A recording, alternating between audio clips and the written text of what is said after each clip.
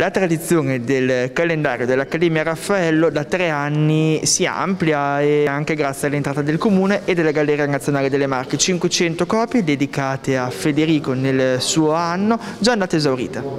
Beh, questo indica che ci sono delle persone che si aspettano il calendario dell'Accademia Raffaello, che adesso è diventato il calendario anche del Comune di Urbino e anche della Galleria Nazionale delle Marche. Quindi, essendo in tanti a promuoverlo, finisce subito e finisce subito nei tavoli delle, delle istituzioni, delle famiglie e degli uffici. Quindi siamo molto contenti che appunto il calendario abbia avuto già subito la sua destinazione e che possa accompagnarci quindi nel 22 con le immagini di Federico da Montefeltro.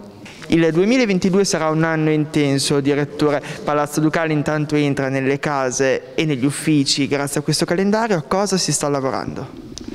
Allora, mh, Palazzo Ducale lavora quest'anno a diverse iniziative, alcune legate alle celebrazioni di Federico da Montefeltro, una grande mostra aprirà nel mese di giugno e si chiama Urbino Crocevia delle Arti, raccontando proprio questo clima eh, culturale intensissimo del, della città in epoca federiciana.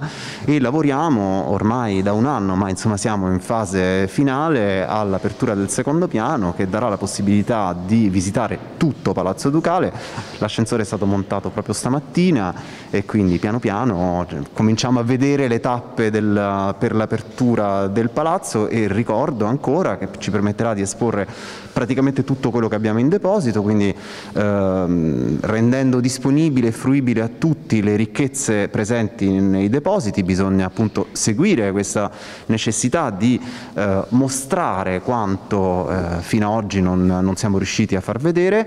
E ehm, quindi noi siamo pronti e vi aspettiamo nel corso dell'anno a Palazzo Ducale eh, fiduciosi che raccoglieremo il consenso del pubblico che è stato fedele anche in questi due anni di pandemia eh, non ha mai mh, perso la, la fiducia eh, nei confronti del nostro museo che ha raccolto anche quest'anno un bel numero di visitatori e ci stiamo diciamo, attrezzando per fare in modo che anche il 22 sia un anno di celebrazioni di Federico e di celebrazioni della Galleria Nazionale delle Marche, dell'arte eh, marchigiana e eh, di Urbino come appunto Crocevia delle Arti. La cultura entra nelle case. Il calendario può sembrare un oggetto inutile, ma in realtà è estremamente utile quello che consultiamo ogni giorno. Tutti abbiamo, la, credo, l'applicazione no? sul telefono, sullo smartphone per avere il calendario sempre a portata di mano, ed indubbiamente è utilissimo, però il calendario è un simbolo no? e, che non muore mai e, mh, portare Federico, perché quest'anno è dedicato a Federico all'interno delle case è un modo in più per raccontarlo e per averlo vicino tutti i giorni.